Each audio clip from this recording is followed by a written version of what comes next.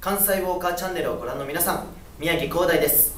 名探偵コナンライブミステリー「養生のラビリンス」大阪公演は9月22日から9月25日まで、えー、松下 IMP ホールにて公演しています、えーこの舞台は観客参加型イベントということだけあって本当にお客様が主役の舞台となっております。